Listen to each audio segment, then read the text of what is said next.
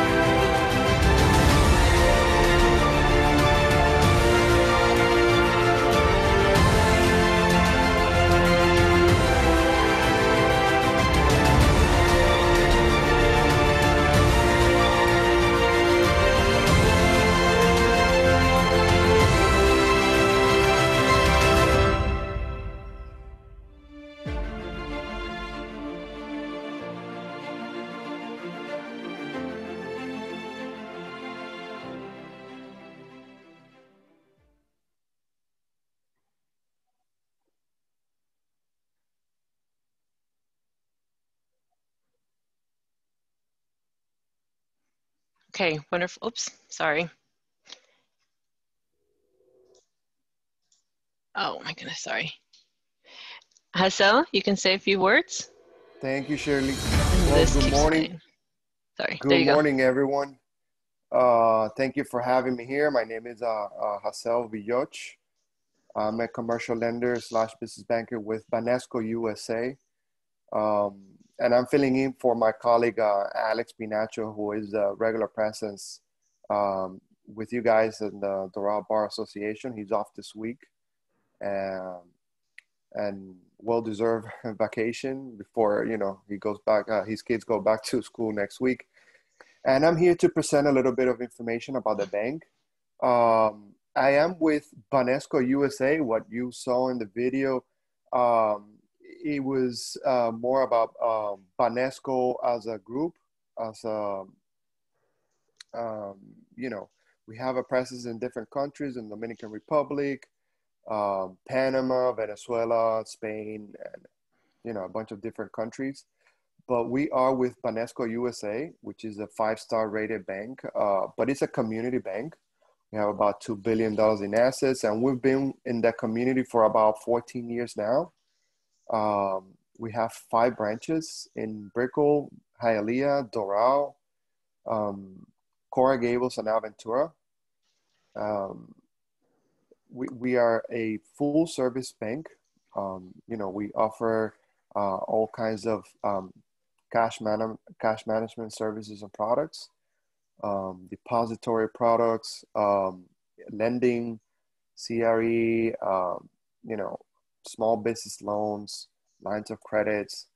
Um, you know, you need it, you name it, uh, we'll be able to help. I would like to say that um, you know we provide a boutique approach like to um, you know personalize uh, our approach to our clients if, you know if you need me pretty sure i speak on behalf of most of my colleagues if you need me over the weekend or even after hours please feel free to call me and i'll be sure to respond on the phone and, and address your concern um, just going to leave it open now for any questions Thank you, Hassel.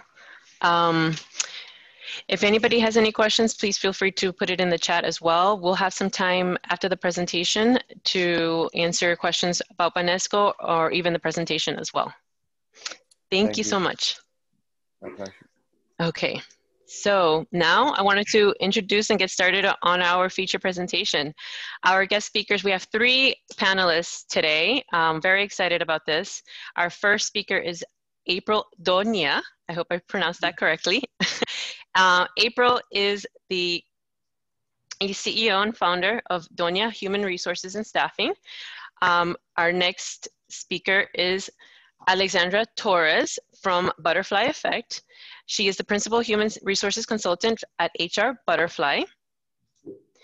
And we also have Yvannova Nunez Avila from Banesco, and she is a human capital multinational business partner at Banesco USA. Welcome, the three of you. And um, April, I will now hand you the remote control. Great, thank you so much for the introduction.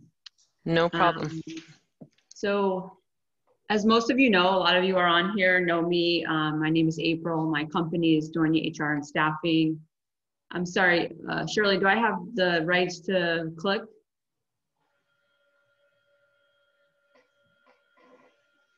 Okay.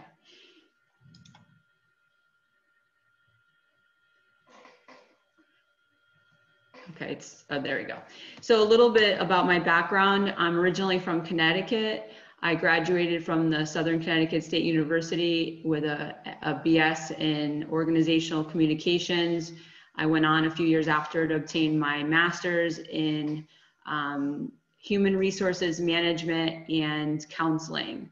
Uh, a few years during the end of my time as my grad grad student, I have relocated down to Miami, and I've been down here for the past nine years. And I have recently started my business, um, which includes um, staffing, uh, human resources con consulting. So really, I wanted to take this time to talk about how we transition into uh, what what the workplace looks like for uh, maneuvering back in from COVID-19 and what it looks like to be an employee and an employer and how we make certain changes. Um, so I'm going to provide you with some interim guidance for businesses and employers, and this will also have some questions as well. So if any of you are transitioning your employees back, it's really important to follow the CDC guidelines, um, which this comes from, and how you make a safe environment for those that are coming on site. Sorry. Um, so obviously, you probably have seen some of this, making sure employees wash hands, disinfecting frequently touched surfaces, increasing ventilation, cancel all travel with your organization, virtual meetings as we're doing now, um, mandating physical, uh, social distancing, shared food, eliminate, stagger your customer flow, online transactions, remove tables and chairs. I think uh, Alex will talk a little bit about that when she talks about some of what's going on in the restaurant industry. Um, encourage the tap and play.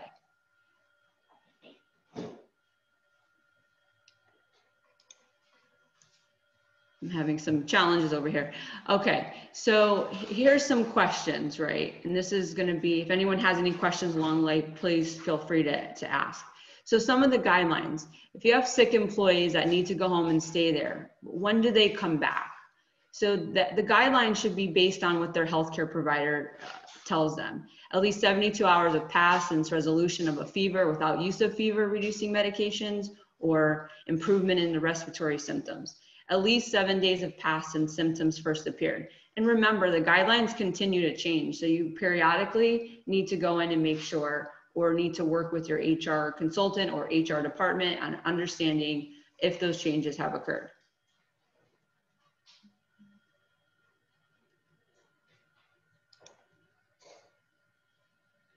Okay, how do we communicate? And I think that's the key thing and understanding is the communication factor. And I know that I've heard a lot of um, organizations that are not having communication with their employees no, you don't tell everybody. If someone's diagnosed, you want to make sure that you don't notify, uh, sorry, you do notify employees, but you don't reveal who's sick, right? So this will, this will, does not help with, you know, um, making overall morale, overall morale within an organization work well because people are wondering who it is that's been infected. I, I know my dad is on, on this call and you know, we had a conversation yesterday about this and how he didn't understand he wasn't communicated about someone who was infected and overall it puts everyone at jeopardy. So I want to emphasize the um, the importance of communicating and not providing names, but at least giving the update to your all your employees that someone has been infected. I'm pretty sure some of you have seen that from some of your buildings that you live in. They're providing information that someone has been infected, but there is no name. Um, okay, asking about symptoms. If employees out sick and sick and we don't know why you can why, can you ask the symptoms that are present? Yes, but you not, must keep it COVID related.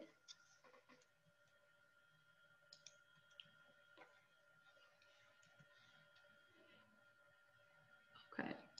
Staying at home when exposed. We can make an employee we can make an employee stay at home if a family member is showing symptoms. You should have constant communications if that is, is an issue for you. Um, employees are afraid to come in. Can we make them? So this is when you're dealing with fear of coming back, right? I'm sure some of you have experienced it. Um, you can make them return to work. If there's no legitimate threat and they don't require an accommodation, you certainly can make your own arrangements, whether it's the safety of returning to an office, um, all the measures that you need to take under the CDC guidelines.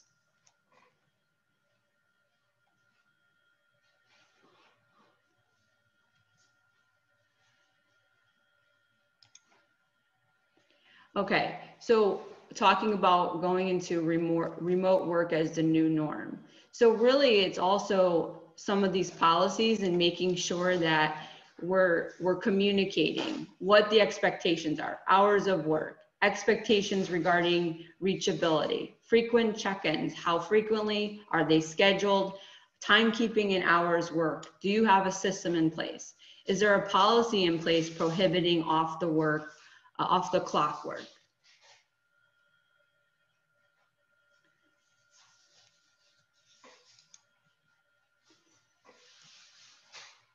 Are remote employees using their own equipment? So we'll talk about, I've gotten a lot of these questions from clients for business expense reimbursements.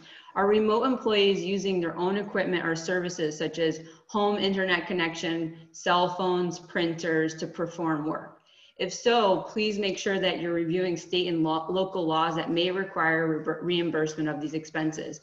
As some of you have multiple locations, it's really important as HR professionals to make sure that you are checking your local and state guidelines um, laws to make sure that uh, if they are requesting reimbursement that under those laws you are are obligated. Um, again if they're working in different states or locality then where is the business located? For this is in regards to state and local variations. So you need to be able to understand and review again the local state and local requirements involve, involving minimum wage rates overtime variations, minimum salary levels for overtime exempt executives, administrative, professional employees, even in regards to lactation and breastfeeding breaks and days of rest. So it needs to be clear on what the expectations are from the employers. Okay, I know that not everyone's having an easy time working from home, and here are some tips. I think what we need to understand is that this is the new norm and not everyone is having such an easy time working from home and we're all going through the same challenges. So making space, maintain hours, get dressed every day, eat, drink, take breaks, communicate for fun, touch base with your direct reports once a day, if only to say hello and to acknowledge them. Try to keep some consistency and schedule. Returning to work. So some tips to keep in mind as you com communicate returning to the workplace situation. Make sure you're developing a clear and detailed safe work plan. I think I already talked about this. Write in plain, easy to understand languages. If you need to use images or diagrams where appropriate, feel free. Outline what building management is doing, how the company is supporting its efforts and clear expectations for employees. And if you need to partner with legal counsel, be sure to. They can help you steer clear of perceptions of discrimination and other potential employee relations or legal matters. I think that that's important as we'll see um, the cases, lawsuits that have been increasing over COVID, COVID challenges. So be sure to partner with legal or HR. Um, returning to work, get input from senior leaders if you're confused. Be sure you're training your managers. Yvannova will talk about this in change management and understanding some of the challenges as managers and, and supervisors and what, it, what is expected of them to make sure that they're communicating as the front line uh, for their employees. Okay, different medias. I'm running out of time here, so we've got different media. Make good use of signs throughout the office to help with these key behaviors be clear is really important. Continue to communicate. Explain any situation that requires some type of communication for uncertainty. So here, here's an interesting um, statistics about remote work. 62% of US employees are working from home. 59 of them would prefer to continue working for home, from home. And 54% of them would quit their job if they could find an alternative to work remote. So in my world of staffing, I'm noticing a lot of questions about is the job remote? So let's look at some of the larger organizations that are currently working remote and will some until 2021 or indefinitely. Google, Uber, Zillow, Twitter, Square, Uber, sorry, I said Uber, Microsoft, Reuters, Facebook, Amazon, Spotify, Salesforce. So really I think some of the key takes from this is when we're working remote and we're managing remote, we need to really look at the empathy that we have, the collaborations that we have, and the communication.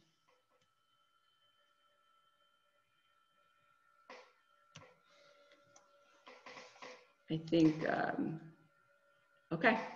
Um, and if anyone has any questions, please feel free to reach out to me. Uh, I have many articles and resources. If you are confused or have any questions, um, I'm here to assist. Thank you. Thank you, April. Um, if you have any questions right now, also, please feel free to put them in the chat. We will take care of that here um, afterwards. Alexandra Torres is up next from HR Butterfly Effect. Um, I have given you the control, so now you can change slides as well. Perfect, thank you. All right. So hi, my name is Alexandra. I'm also known as Alexa. I have uh, 15 plus years of experience in HR. Um, I started in Puerto Rico, my HR, which is a very volatile um, HR atmosphere. And then I moved throughout the US and I've finally been in Miami about seven to eight years now. And in Miami, I got my master's at FIU. And currently, I am pursuing a second master's degree from Tulane University in labor and employment law, specifically for human resources professional, to be able to help with legal matters within a company.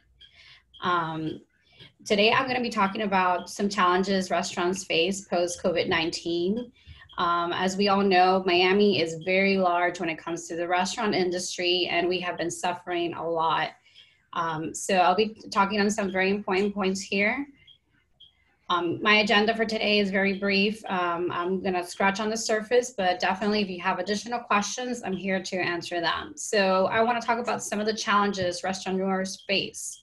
Um, we do have a lot of small um, uh, restaurant business owners and they don't necessarily have HR. They don't understand a lot of the changes that we're going through. We have a lot of um, mandates from local government. So those challenges are pretty rough on them at times. I'm going to discuss a little bit in, in regards to compliance concerns and issues to consider um, when working with restaurants and some tips and possible solutions um, that can be incorporated um, within the restaurant industry. Okay. Oops, I think I went a little bit.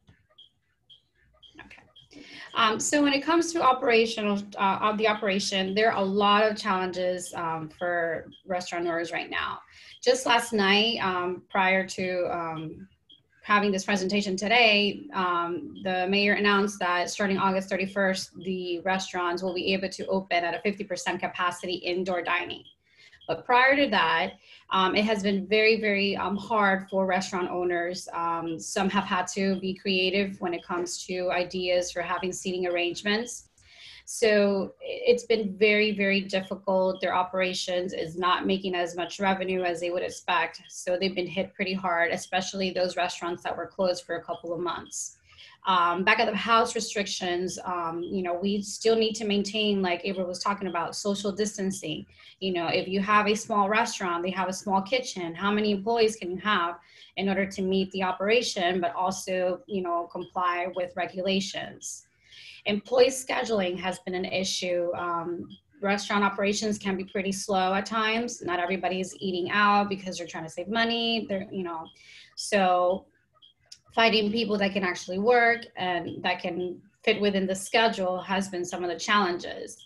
I've been working with a restaurant that they have operations limited right now. They're closed two days out of the week um, because it's not futile for them to operate the seven days of the week. Uh, within the five days that they are operating, they have challenges when it comes to schedules. Some days, you know, for their lunch service, it's very slow. It's mainly pickup and um, delivery. And for the evening, it could be a little bit more of a bulk. And on the weekends, they have um, more clients come in. So it's it's challenging because sometimes you just literally have employees just sitting around not doing anything. So that's that's an issue when it comes to scheduling. Um, changes in menu. I've seen a lot of creative uh, things going out there. I've seen restaurants create COVID specific menu, um, you know, COVID 19, 19 and under food items, um, limit their, their selection because when it comes to operational expenses, you have food costs to consider, you have labor costs to consider, and you have the main operational costs to consider. You still have to pay electricity, you still have to pay, you know, your your location. I mean, it continues. Just like um, we have to continue to pay our bills, so does the restaurant owners.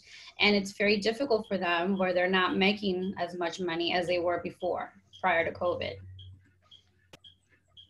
So some of the compliance concerns and issues that I have seen lately has been within these target areas that I present here. When it comes to recruiting, we have a low candidate pool. A lot of people were in unemployment benefits. When those additional $600 were coming in, people were making a lot of money, more than probably they would when it comes to working at a restaurant. And like I mentioned, if someone had reduced hours because the operation is reduced and they make more on unemployment when they calculate, they're going to stay home. They're not going to come to work. So my candidate pool has decreased tremendously. Um, now that the $600 is no longer there, and Florida is one of the, it is the state with the lowest unemployment rate. Right now, um, the governor DeSantis has not decided if they are going to um, have the additional $400. So right now, I do foresee um, more people going out there to find a job because now they will need to have a job in order to be able to survive because I doubt that on 275 a week they'll be able to um, you know feed their families and whatnot. Um, we also have limit on roles that the company you know that a restaurant's going to need right now. If I don't have full blown service in the front, I only need my kitchen staff. Um, if I do have service in the front, how many people do I need? So I have limitations when it comes to that. You know, I used to have perhaps 15 employees to operate my restaurant. Now I only need maybe three or four. You know, who do I recall from those employees? Are those employees willing to come back? You know, so those are the recruitment challenges overall. Um, some additional things that I have seen when it comes to recruiting, those that are actually looking for jobs are looking for higher wage rates um, they're trying to make money to survive and it's understandable you know just like you know we need to make an allowable income in their household well people are looking for higher wages and can restaurant owners really um, you know provide that at this point? So that has become a challenge and a compliance concern. Um, meeting compliance when hiring, you know, we still have to do work on authorization, documentation. I know that USCIS um, was a little bit flexible when it came to um, verifying documents, but we still have to do that. I've encountered a lot of people who are unfortunately um, or don't have the right work authorization documentation, they're willing to take even a pay cut, but we still have to, you know, comply with the law when it comes to hiring um, authorized, you know, people. Uh, we also have to deal with the CDC guidelines, like in safety and sanitation measures, like April mentioned. You know, are we going to take employee temperatures? You know, when we come to the workplace. Um, do we have sanitation um, sections? Do we have face masks? You know, what other things do we have so we can maintain our employees safe and all, and also our guests? When it comes to policies and procedures, I have seen lots of changes. Um, right now, obviously, uh, face covering is required. It's a mandate. So policies like face covering have been implemented so employees know that they have to have the face covering at all times. Um, what about sick leave? Re- typically restaurant employees they don't have any sick leave. So would a restaurant owner consider putting in a sick leave just in case they do have an employee that presents symptoms you know they're not working for maybe you know 14 days because they might need to quarantine due to possibility having um, covid symptoms? You know are you going to pay that employee those those those 14 days at least minimum wage so those are some of the changes that I have seen within the restaurants when it comes to policies and procedures. Um, DOL, the, the DOL wage and hour considerations. You know, we still need to comply with the Department of Labor and pay employees correctly. So one of the things that we, you know, I have a scenario that is um, a very good one. When it comes to, we have two employees that are working in front of the house as servers. One employee is working during the week where my service is low. So if there's the service is low, what happens? They're not going to make enough tips. And if the employer they have a tip credit, you know, they need to make sure that if the tips do not make the to the, the, the minimum wage, then they would have to pay them the regular rate and not take the tip credit. So how do you how do you make sure that you don't you know, discriminate among two employees, you know, in this case, uh, this my scenario, I have a female working throughout the week. She's not making as much tips as a male working throughout the weekend who's making enough tips, you know, and I have him on tip credit. So you have to consider the wage and hour and, and also make sure that you have the documentation to back up as to why there's a difference. Safety in the workplace. Again, I cannot stress enough what April was mentioning. You know, there's new re- requirements to operate. There's regulatory agencies, the CDC, OSHA. So we do need to make sure that we comply with those at work as well. So when it comes to some tips and possible solutions, I cannot stress enough, and I agree a thousand percent when April said it. We need to communicate with employees daily. We always should be communicating with employees, but why should we communicate with them more? Because they can bring their concerns. They have personal, you know, concerns, eh, their family, their household, kids are starting school. In the restaurant business, people cannot work remote, so they have to come to work you know they are exposing themselves when they're treating um, customers so let's listen to our employees they perhaps saw something that you know they can bring to our attention that we can fix so definitely communicating daily is very important for the operation you know one thing that has been helpful for restaurant and i've seen increase the presence via social media and online you know you bring out new ideas on how to promote your business on social media, do small videos, have um, guests comment on some of the food items that you're selling and things like that. Um, consider daily specials on most crave food items. You know, sometimes we want to have something on the regular menu, but due to COVID, we limited our menu. So why not have a daily special to attract customers to the restaurant? Um, increase pickup and delivery services. You know, make sure that you're advocating and you're you're marketing to uh, uh, customers that enjoy your food and can have access to it as well. Um, offer gift cards to boost sales. You know, perhaps you, you don't want to go to the restaurant right now, but you can purchase a gift card and you're at, at least helping a restaurant owner have some revenue there. And most importantly, and like April said, work with human resources to maintain compliance. There are so many new changes, so many new things going on right now that it's just overwhelming and stressful for a business owner. So it's definitely helpful to work with human resources, someone that can guide you, can create policies, can understand. And if it comes to something that it's within the legal parameter, then you should talk to your employment um, attorney. Thank you so much, Alexandra. That was great. I'm sure people have questions. Um, I'm going to now give control to our next speaker, Nova. Uh, Yvannova, take it away. Uh, thank you, Charlie. Let me just figure out how to do this. uh, okay, perfect. Thank you. Well, thank you everyone for joining us today. My name is Yvannova Nunez. I'm originally from Venezuela. I'm a psychologist, which is why I always try to keep working with individuals and groups. And I've been working in organizational development and change management for the past eight years or so. So um, Alex and, and April talked about some very uh, important elements, and now we want to go deeper and talk about the people side of the change, right? Which is the reason why we're having this webinar and why we're doing everything that Alex and April will uh, recommending. So I'll give you a brief overview about change management, about human beings, how human beings react to change, and what each of us as leaders uh, can do to lead uh, this change with compassion.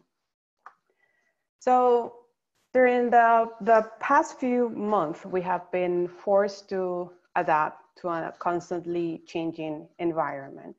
But this past month has also been have also been a great uh, reminder that we all have an individual response to change but there are also some commonalities in the way human beings react to change that if we learn to understand them and identify them it will help us better understand everything that's happening to us during this uh, change but also everything that's happening to the people around us so when we talk about change, we're talking about disruption.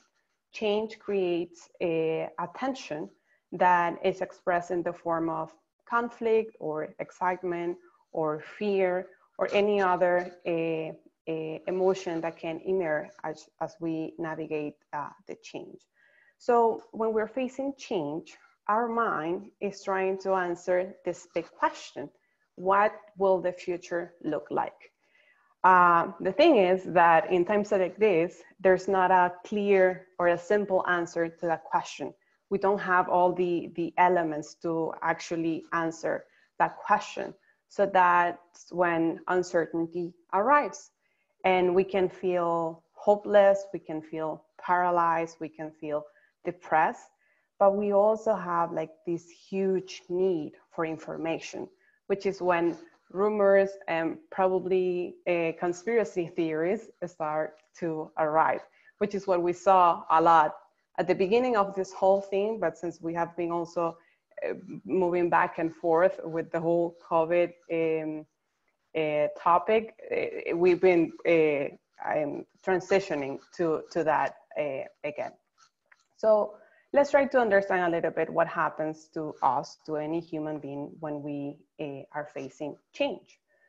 So the first thing that happens to us is that we get into this state of shock, right? Or like COVID, what, what COVID, what does, what does this coronavirus even mean, right? We don't really understand and we don't, we're not able to decode the information that we're getting from all these different sources. Then we move to a state of denial, maybe. Uh, I don't know if you guys remember at the beginning, maybe some of us were like, but is it really that, uh, that big of a deal, the coronavirus? What's the difference between the coronavirus and the flu? Are these numbers actually real? Uh, is this gonna come all the way to the US or this, is this gonna a, a, a thing that's only affecting Asia or then Europe? Uh, and then we move to a state of anger, not only anger at the situation, maybe, but also at others and at ourselves. That's when we started blaming those that invented the, the bad soup or those that were traveling abroad and came back with the virus, right? Um, and then we move to a state of depression. That's when reality starts to hit and we realize that we're losing something. Because when we freeze in change, yes, we lose something, even if it's just the status quo and the, and the way we are uh, used to do things. And then as we uh, realize that this is happening and there's nothing that we can do, uh, we start moving to a, a phase of experimentation, right? Well, there's no other choice. I might have to get used to this. I might have to buy a desk so I can work from home and start uh, washing my hands every five minutes and washing all the groceries uh, when I buy my products or whatever. And then you start to gradually accepting the new reality. And you start thinking, well, this might be good for me, right? Which is what some of us start saying, like, oh, I actually like working from home. I spend more time with my family. I don't have to spend that much time commuted to the office. And then we finally integrate the change and we don't even remember how it used to be before. So this morning when I was putting some makeup, I was like, how was it that I did this before? Because I don't remember. I haven't done it in so, in so long. So uh, I wanna invite you to use the chat and, and reflect for a little bit. In which of these stages do you think that you spend more time when you're facing change? Even though this is the pattern, when we face change, we go through a curve. Uh, but we know not all of us express these emotions in the same way, and not all of us have the same uh, coping mechanism. So I know that for me, maybe I spend a little bit more time probably in depression, uh, and then I start moving to the other phases. But it's different for every one of us. So I want to invite you to take a, a, a few minutes and and see the this curve and try to identify where do you think that you spend more time uh, in which of the stages do you spend more time when you're facing a change? Why am i asking you this? Because understanding how you uh, react when you're facing change it will help you have more empathy when you're seeing others going through the change. And it's also important to keep in mind that we all have a different way of coping with the with the changes.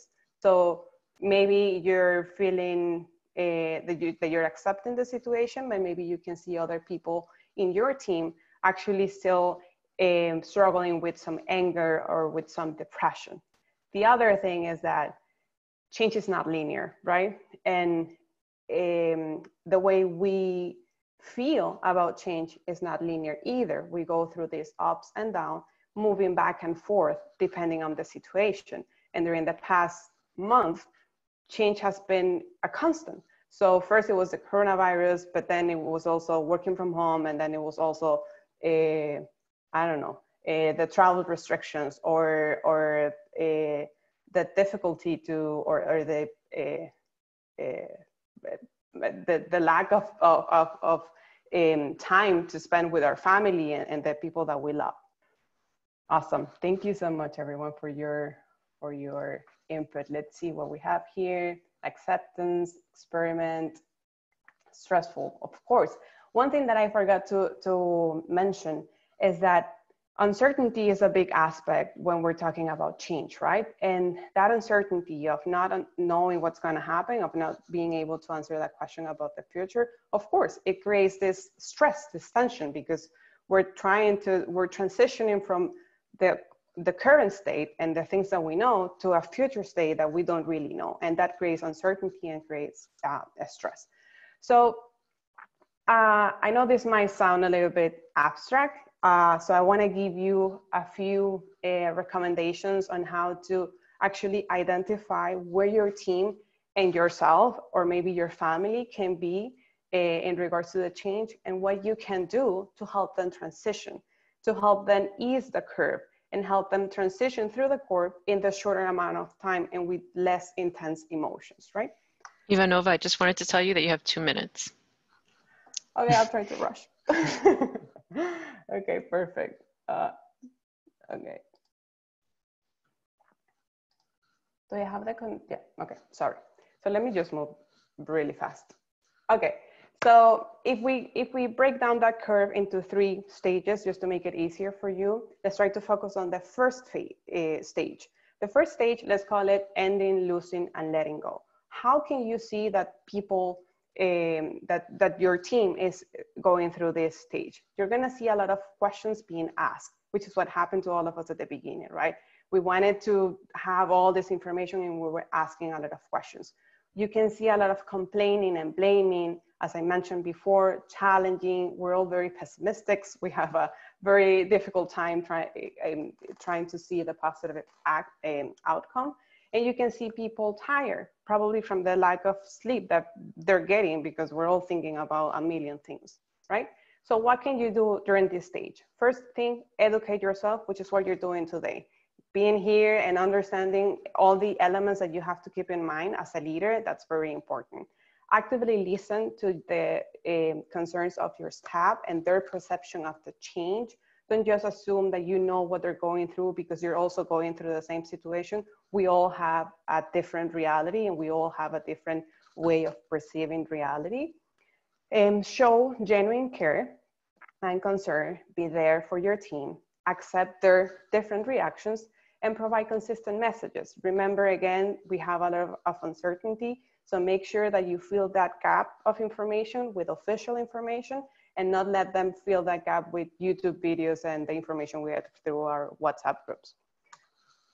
Then moving uh, forward, we get into the neutral zone. So how can you know that you have people going through the stage? You will see people adjusting, bargaining, and actually willing to get involved. So use that and involve your team in the creation of this new reality.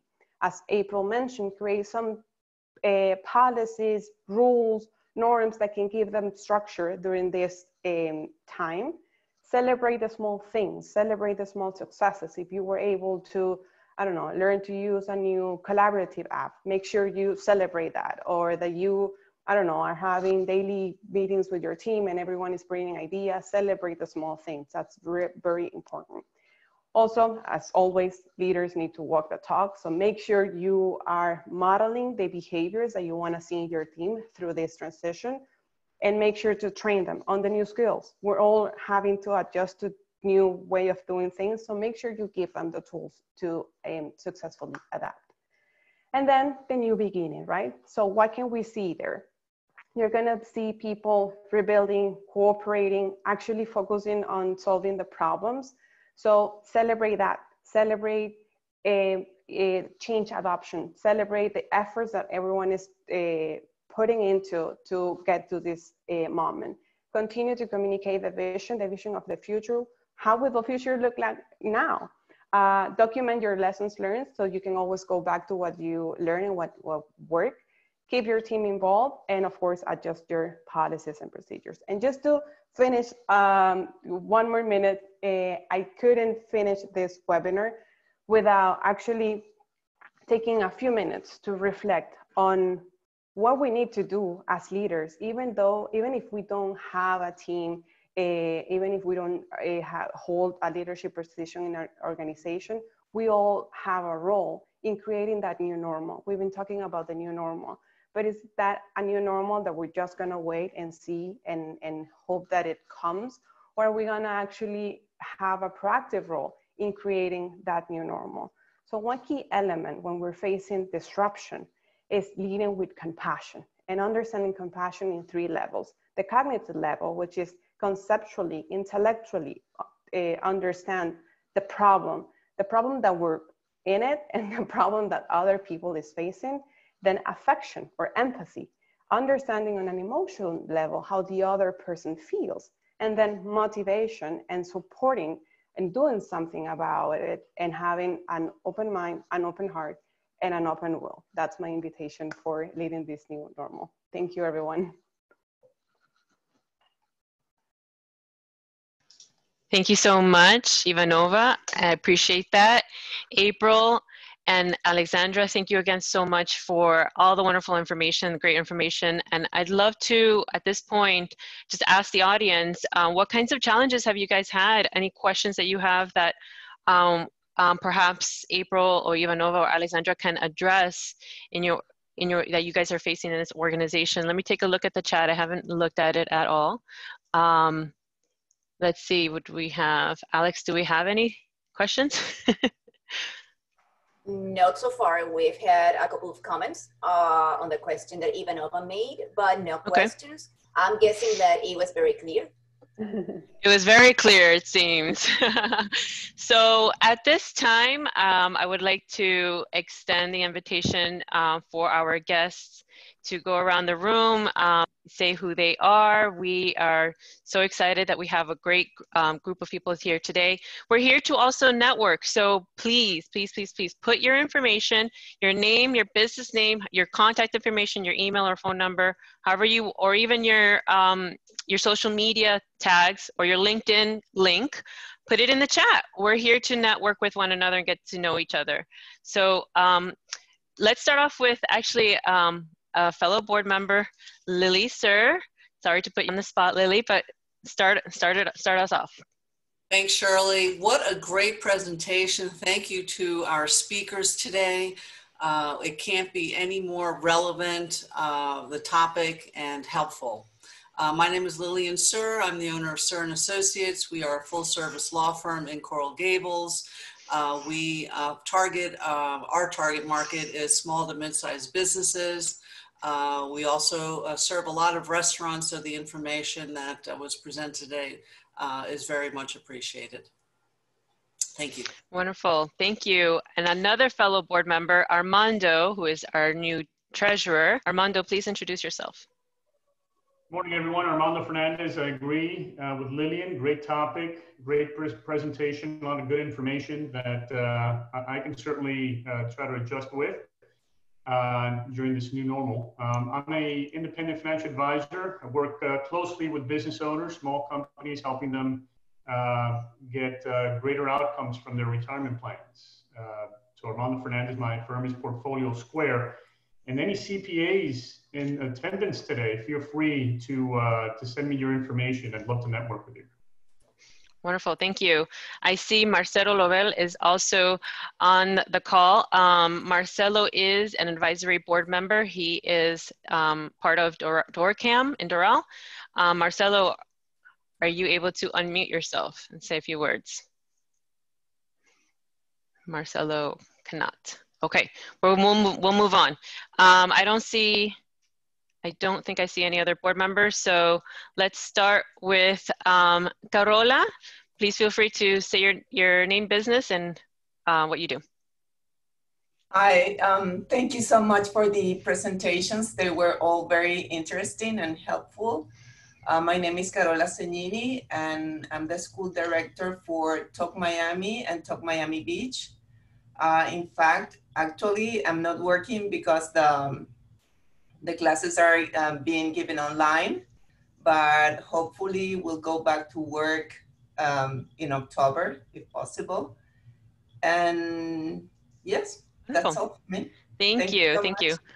Um, and I made a huge mistake. I skipped over Alex Vivas, who is our um, marketing chair at Doral Bar. I cannot believe I skipped over her.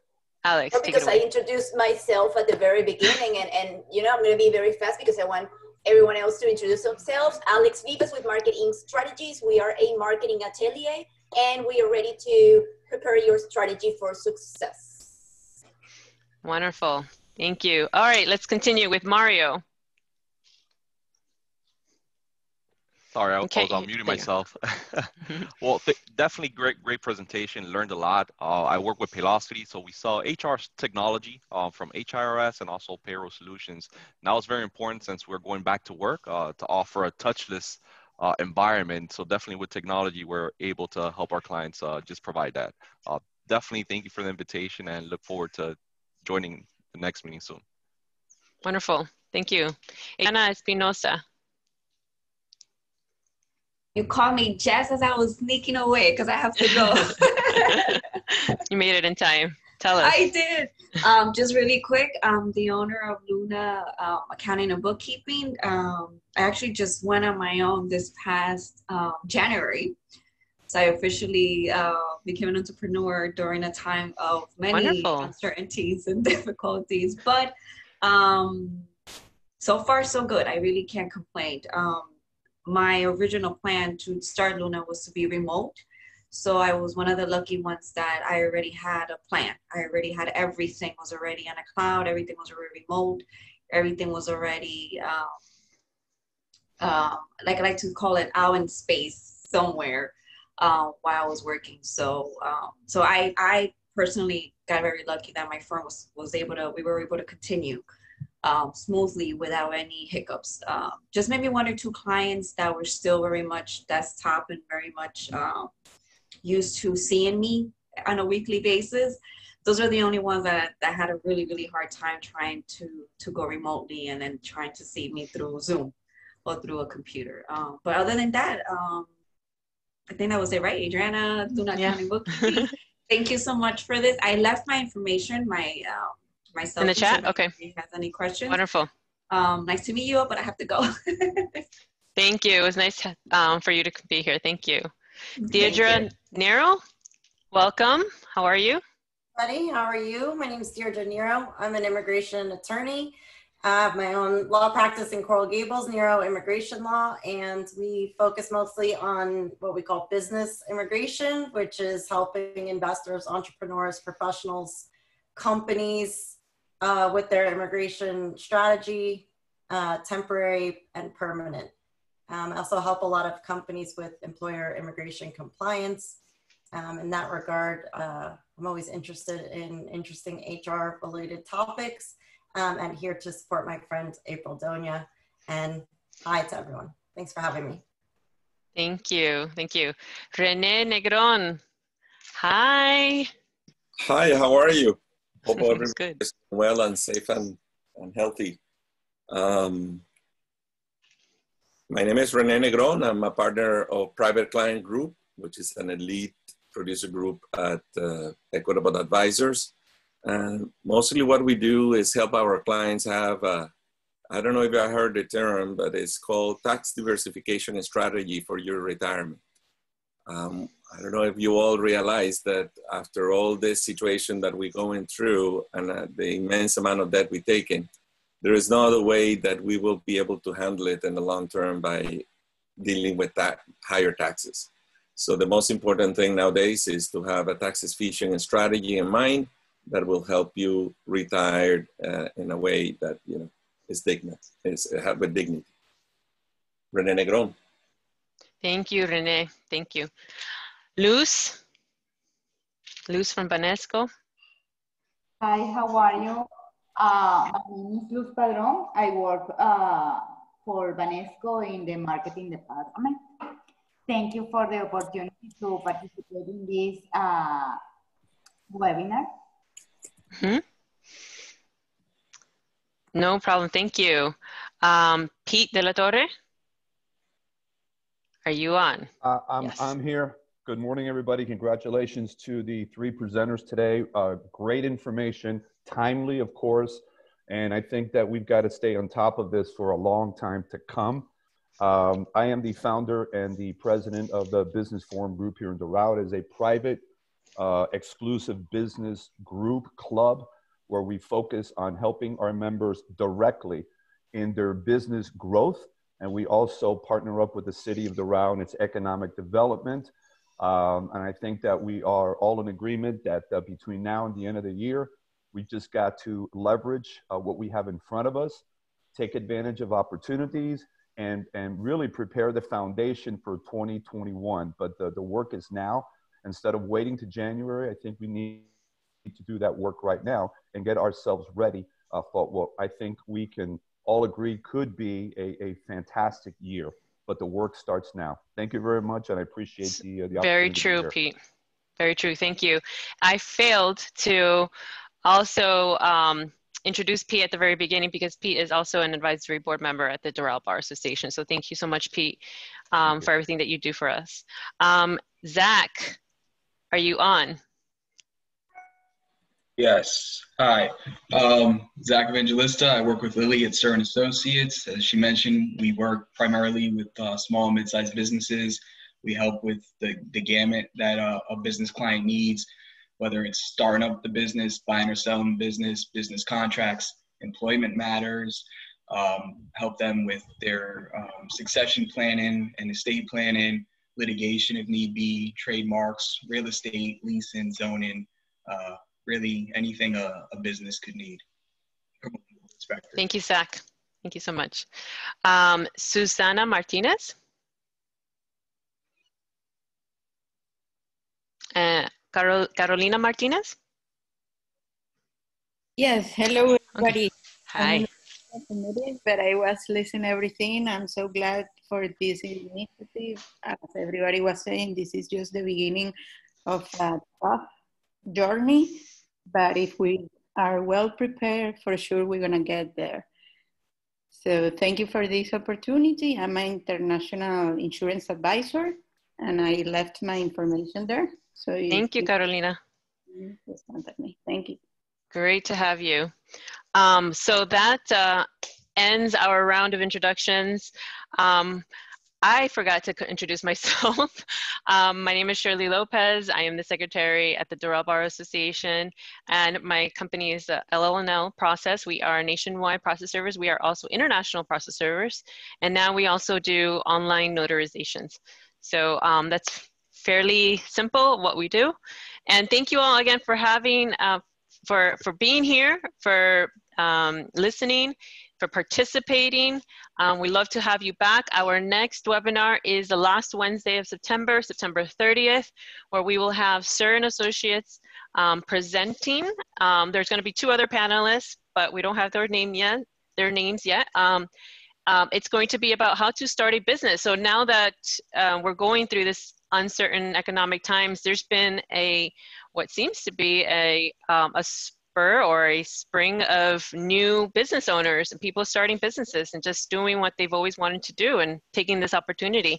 So um, business owners need to know very specific things of how to start their business and start it the right way. So it's a very important topic. Um, we welcome you to come again next week. I mean, next month, sorry.